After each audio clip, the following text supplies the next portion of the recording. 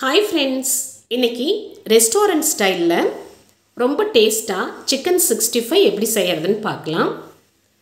இதுக்கு கால் கிலோ அளவுக்கு சிக்கன் எடுத்து வச்சுருக்கேன். கொஞ்சம் போனோட தான் எடுத்திருக்கேன். இதை நல்லா கழுவிட்டு ஒரு பவுலில் சேர்த்துக்கலாம். தேவையான அளவுக்கு உப்பு மஞ்சப்பொடி அரை ஸ்பூன் போட்டுடலாம்.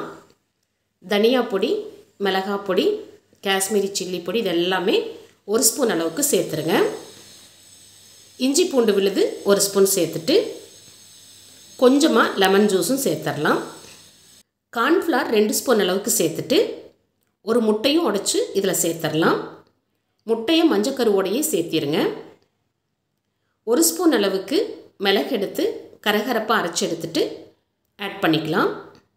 இப்போ இது எல்லாத்தையுமே நல்லா மிக்ஸ் பண்ணுங்கள் முட்டை கார்ன்ஃப்ளார் நம்ம போட்டிருக்கிற மசாலா பொடி எல்லாமே நல்லா மிக்ஸ் ஆகி வரணும்.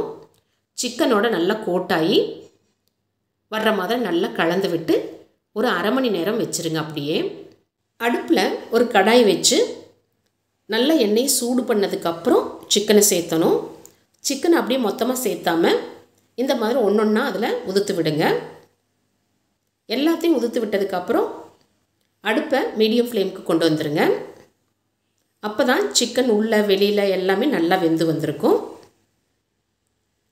நமக்கு சூப்பர் டேஸ்ட்டில் சிக்கன் சிக்ஸ்டி ஃபைவ் செமையாக ரெடி ஆயிடுச்சு இந்த மாதிரி நீங்களும் ட்ரை பண்ணி பாருங்கள் ட்ரை பண்ணி பார்த்துட்டு கமெண்ட்ஸில் எப்படி இருக்குன்னு சொல்லுங்கள் வீடியோ பிடிச்சிருந்தா லைக் அண்ட் சப்ஸ்கிரைப் ஃப்ரெண்ட்ஸ்